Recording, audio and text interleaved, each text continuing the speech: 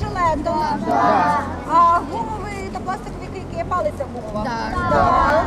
Метою акції підвищення рівня безпеки у дітей, розповідає інспектор зв'язків з громадськістю управління патрульної поліції Хмельницької області Максим Рижій. Ця акція покликана, е, щоб підвищений рівень безпеки в дворах, е, щоб е, розповісти батькам, розповісти дітям про безпечну поведінку літом, ч- які правил не мають дотримуватися, як застерегти своє майно від крадіжок.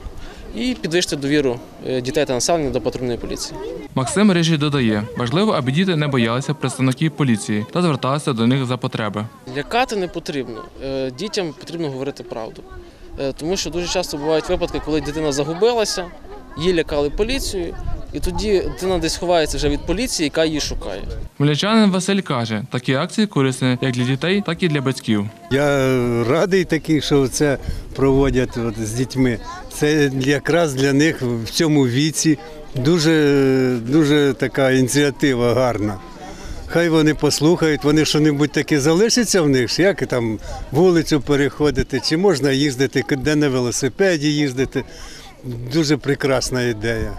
До акції долучились діти різного віку. Я дізнався, як е, регулюють рух на дорозі дуже пізнавально. Я вважав, що на передньому кріслі е, раніше можна було їздити з 14 років, але сьогодні я дізнався, що з 12, і якщо ріст е, дитини більш ніж за, за метр 45. Наступні бесіди відбудуться 16 липня на вулиці Зарічанська, 22, дроб 2 та 17 липня на вулиці Тернопільська, 12А. Початок о 16 Андрій Гуменний, Віктор Кривий. Новини.